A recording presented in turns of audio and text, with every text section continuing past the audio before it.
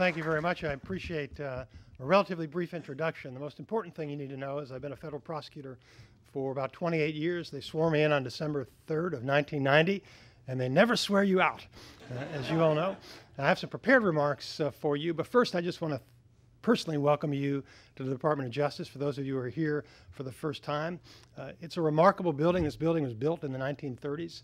Uh, if you have an opportunity to wander around, and they gave you all red badges, so you probably can't wander freely around the building, but on your way in and out, uh, I hope you have a chance just to observe and absorb uh, the history of this building. It really is a remarkable place to work. I always enjoy, as I walk the halls, thinking about uh, all the people who have worked here in the past, former attorneys general, former career folks, and I've had the opportunity to know so many of them over the years uh, and to absorb the lessons and apply the principles that motivate us here in the department. I know many of you are state and local law enforcement officials, prosecutors. Uh, we also have some assistant U.S. attorneys and DOJ prosecutors as well. Uh, and I hope you find this to be a worthwhile opportunity to network, to get to know folks from around the country. I spoke with the leadership of both your organizations, NDAA and NAAG, this morning uh, about the value of just getting people together from various places around the country to coordinate about our joint mission, to commiserate about some of the common challenges that we face, uh, and to find a way forward to keep our communities safer. Uh, I am very proud that the department is able to co-sponsor this symposium with uh, the National Association of AGs and the National uh, DAs Association. It's been really a critical um, uh, collaboration for us here in the department. Ted Hunt, who many of you know, uh, former local prosecutor from Missouri, has been working with us for about a year. Uh, and his primary mission is to coordinate with all of you to make sure the department's doing everything that we can to support your work. Last year, you're probably aware, of the surge we experienced in many places in the country in violent crime and of drug overdose deaths. And our department responded to that by making it a priority to coordinate with state and local law enforcement.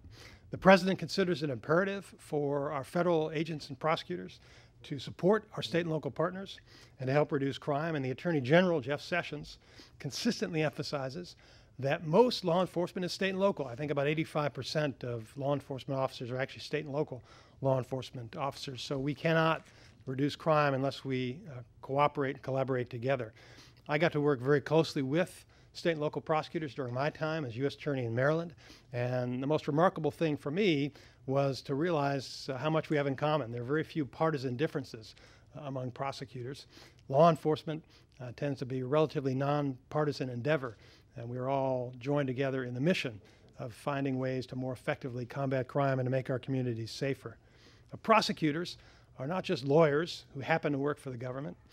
From the perspective of many of our citizens, we are the government. You know, when they think about the government, whether federal, state, or local, they think about the people that they deal with and the interactions that they have. Most often, uh, for both witnesses, or I should say witnesses, victims, as well as defendants, uh, some of their most emotional experiences are when they have to deal with law enforcement. So people's interactions with us create indelible memories and really form their impression of their government and forever influence the way that they view law enforcement. That's one of the things I think that's critical about our efforts to uh, uh, uh ensure good policing is for the police officers to recognize that uh, there are times, obviously, when they're dealing with criminals and they need to be tough, but they also need to be cognizant of the fact that most members of the community are looking to them as representatives of the government. And we need, whenever we can, to form uh, uh, uh, good relationships uh, to create positive impressions of law enforcement. One of the inscriptions on the outside of this main justice building and you can always look at the outside of the building, even if they don't let you wander the inside. But if you look up on the building, both inside and outside, there are inscriptions throughout the building. And one of the inscriptions on the outside of the building reads, Justice in the life and conduct of the state is possible only as it first resides in the hearts and souls of the citizens. The keeping justice in the hearts and souls of the citizens is part of our job. That gives us a special responsibility to build public confidence in law enforcement by acting with integrity and professionalism and candor. Our offices, whether it be federal, state, or local, all exercise significant power, and we must always use that power wisely. It's our duty to enforce the law and to follow the facts wherever they may lead, and we need to ensure that our decisions are never influenced by political considerations. I've served under nine attorneys general, and on every floor of this building, there are reminders for me of the heroes, mentors, and friends who are, have worked here, and I hope each of you gains similar inspiration from the history of your offices. In 1985, Attorney General Ed Meese spoke to a group of district attorneys and observed that the prosecutor occupies a unique position in the criminal justice system. At the most direct level, his decision making ability, the critical prosecution decisions, whether or not to charge a case and what to charge in a particular case, and his advocacy skill determines the real quality of justice in your communities. In 1940, Attorney General Robert Jackson delivered a speech in this building to a federal state conference on law enforcement problems. The goal was to facilitate cooperation between federal agents and their state and local counterparts. Jackson said that the public looks to the state and federal governments to work together in cooperation. He emphasized that law enforcement officers at all levels share a grave responsibility, and he expressed his hope that this meeting will result in the establishment of some machinery for the interchange of ideas and general coordination of efforts in the future. I hope that that same exchange of ideas and coordination of efforts takes place this week because forensic science is a critically important tool for law enforcement. Dr. Edmond Locard, a French criminologist and forefather of modern forensic science, famously remarked, every contact leaves a trace. We refer to that principle as Locard's exchange principle. The thesis is that any physical interaction with a given environment both takes from and leaves behind trace elements, and even small traces of evidence can provide big clues that help solve cases. One example is a case handled by the Department of Justice a few years ago. In the early morning hours of January 20th of 2010, three Caucasian men were loitering around a pickup truck in a parking lot at a gas station in Alpena, Arkansas. A short time later, five Hispanic men arrived in a green 1995 Buick LeSabre. After the men fueled their car and paid for gas, the Caucasian men began shouting racial epithets. The Hispanic men ignored the threats and drove away. But the Caucasian men entered a pickup truck and sped after the Buick. Several miles down the road, the truck caught up to the Buick and repeatedly rammed into it from behind.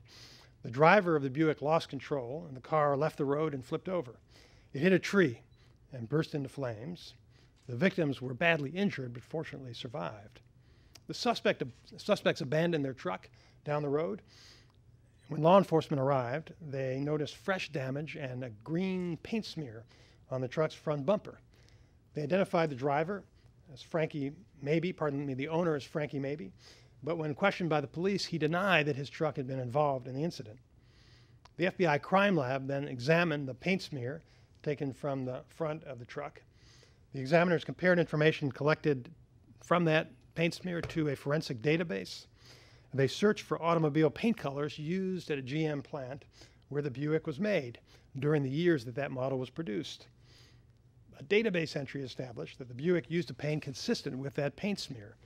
The examiners also determined that the chemical composition of the paint was consistent with the paint recovered from the truck. That forensic evidence helped to prove that contact had occurred between the truck and the car that carried the five victims. As a result, Maybee and a passenger were the first defendants the Department of Justice ever charged under the Matthew Shepard and James Byrd hate crime statute of 2009. When confronted by the evidence, the passenger pleaded guilty Maybee went to trial, and an FBI forensic examiner testified about the chemical and paint match. As a result, a federal jury convicted Maybee of six counts under that Shepard Byrd Hate Crimes Prevention Act, and he was sentenced to 135 years in prison. That is just one example of the use of forensic science in the criminal justice system and its critical role in the search for truth. Forensic science is so important to our mission that the Attorney General has made it a priority for the department to make effective and reliable use of forensic science. We practice forensic science here in the department in our many laboratories. We fund forensic science through grants by the Office of Justice Programs, and our prosecutors are consumers of forensic science uh, in litigating cases in courts throughout the country. As I mentioned last summer, the Attorney General appointed Ted Hunt as a senior advisor on forensic science to conduct a review of the department's forensic practices and advise us on the best way forward to optimize our use of forensic science. He's been assisted by uh, federal prosecutors throughout the country, as well as by our Office of Legal Policy, and in coordination with many of you in state and local law enforcement. We're strengthening the reliability of forensic methods. We are enhancing our lab capabilities. And we are increasing collaboration on forensic uh, issues within the Department of Justice. We recognize that forensic evidence is most often used by you in state and local law enforcement. Our renewed focus includes the creation of two working groups uh, that include representatives from, from throughout the country. The first is the Council on Federal Forensic Laboratory Directors, which is the only federal interagency group solely devoted to forensic science. It includes officials from the department and other executive branch agencies with forensic labs and capabilities. The goal is to spot trends, share intelligence, identify research needs, and focus on collaborative ways to use forensic science in the fight against crime. The second group includes state and local crime lab directors and forensic science researchers. Their focus will be on the forensic technology needs of state and local law enforcement because one of the things that we hear throughout the country is about backlogs and the need for additional resources for our forensic labs. This group will advise the department about how we can best support forensic research and introduce new technologies into America's crime labs. In the near future, we expect to see the widespread use of rapid DNA testing in crime labs and police booking stations. The ATF and DEA, pardon me, ATF and FBI labs already use software that computes the probability that various combinations of individuals are donors to complex DNA mixtures. That technology is also being used, I know, in many state and local forensic labs. More advanced DNA technologies are being developed, and they will soon be ready to resolve some of our most challenging forensic samples. One example is next generation sequencing, which can distinguish the smallest components of mixed DNA molecules from multiple people. And having been in law enforcement for almost 30 years, uh, I can tell you that when I started, lawyers didn't have to know much about DNA and science. You all face challenges that we didn't face 30 years ago, increasing uh, the need really for you to be properly trained and understand these concepts. Other technologies like 3D imaging and the high resolution optical analysis of tool marks latent prints, and shoe mark features are now routine, are now in advanced stages of research and development and will be routine in the future. Those tools will enhance the capability and reliability of forensic pattern matching in the near future. Of course, in order to fully use these technologies in American courtrooms, the evidence has to be admissible by our judges.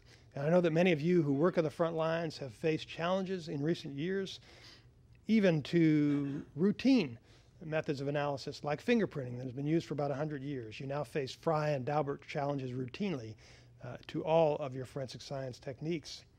Many of the methods that they challenge involve the comparison of evidence patterns like fingerprints, shell casings, and shoe marks to known sources.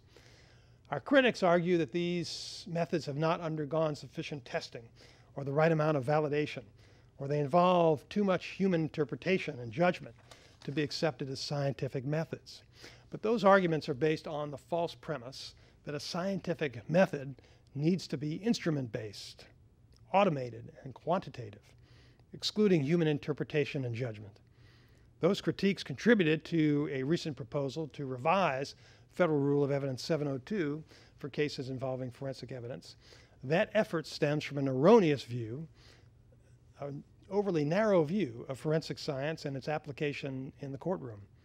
The Federal Rule of Evidence, which is similar to many of the state rules, Federal Rule 702, uses the phrase scientific, technical, or other specialized knowledge, which makes clear that it is designed to permit the introduction of testimony that calls on skills and judgment beyond the knowledge of a layperson, and not merely the work of scientists in laboratories. Forensic science is not only quantitative, or automated. It need not be free of human judgment. That's just not true of forensic science. It's also the case in other applied fields, such as medicine, computer science, and engineering. There is always room for judgment. The astronomer Carl Sagan said that science is a way of thinking more than it is a body of knowledge. His point illustrates that science is inescapably a human endeavor. Human observation, Comparison, interpretation, and judgment are core components of science. They're also key components of good expert testimony in a courtroom. The fact finder benefits from expert assistance to place forensic evidence in the proper context. The importance of that interpretive role is embodied in our Federal Rule of Evidence. It conditions the admissibility of expert testimony on its ability to help the trier of fact understand the evidence or to determine a fact and issue. So interpretation and judgment are essential aspects of what forensic scientists do. And it's important that they properly explain and describe their test results and their testimonial conclusions. That's why we decided in the department to develop uniform language for testimony and reports. Our uniform language, we call them ULTRs, include approved terms, definitions, and bases for conclusions offered by our examiners. The goal is to avoid subsequent challenges that the examiners didn't use the right word or that they overstated their conclusion. So our goal is to have an agreed upon framework for the kind of language that we can use uh, and how we can explain the findings reached by our examiners. They also include guidance uh, about the statements that our examiners should avoid when giving testimony, such as overstating the level of certainty justified by the evidence. We recently approved eight new uniform language documents, and those are all posted on the Justice Department's internet, so they're available to you and available to the public. In addition to that, we instituted a program to monitor testimony by employees of our forensic labs and digital entities. It establishes a framework with concise guidance for evaluating the courtroom testimony of our forensic examiners. Our labs and our computer analysis centers have used that guidance to develop policies for evaluating the quality and content of testimony offered by the examiners. I spoke earlier this morning with Jen Smith, who's participating here today, a former FBI uh, examiner now working in D.C. And what, what happens with the FBI, we send our experts out to testify, and we want to make sure that we get feedback, both to uh, improve the capabilities of the examiners and also to properly evaluate the testimony that they give to make sure that they're complying with the standards established by the department. These are two measures, the ULTRs and the testimony monitoring. These are two measures designed to maintain the consistency and quality of our lab reports and our testimonial presentations to ensure that they meet the highest standards of professionalism and ethics. As prosecutors, we do need to understand the basics of science, technology, and the methods that we use in court. A functional level of forensic literacy is now essential. But one key challenge we face as lawyers is that math and science are not necessarily our first language. Our stock in trade is words, not equations or formulas. Judge Hamilton of the U.S. Court of Appeals for the Seventh Circuit spoke about the interdisciplinary aspect or divide between science and the law and the need for lawyers to develop the expertise to bridge that gap. He wrote, Law must apply itself to the life of a society driven more and more by technology and technological improvements. Judges and lawyers do not have the luxury of functional illiteracy in either of those two cultures. Sometimes effective presentation, cross examination, and evaluation of expert testimony require lawyers and judges to fill in gaps in their scientific, engineering, or mathematics educations, or to refresh their memories about them. As Judge Hamilton noted, the legal profession is an applied discipline we as prosecutors need to learn as much as we can about the types of evidence that we introduce in court. So as you hear about new scientific terms and learn about new forensic techniques, keep in mind that forensic science is a powerful tool that we must understand fully, use responsibly, and defend appropriately in order to satisfy our ultimate duties as prosecutors to uncover the truth and pursue justice. In closing, uh, Attorney General Robert Jackson, who I mentioned earlier, in 1940 gave a speech in this building about the role of the prosecutor. And he concluded his remarks by saying that the citizen's safety lies in the prosecutor who tempers zeal with human kindness, seeks truth and not victims, serves the law and not factional purposes, and approaches the task with humility. In summary, Jackson's timeless advice is to seek the truth, serve the law, and in the words of a country music song, always stay humble and kind. Those are important attributes of prosecutors. So I want to thank you for your service to our state, local, and federal prosecutorial offices. I'm grateful that you joined us this week, uh, and I hope you find this to be a productive symposium. Thank you very much.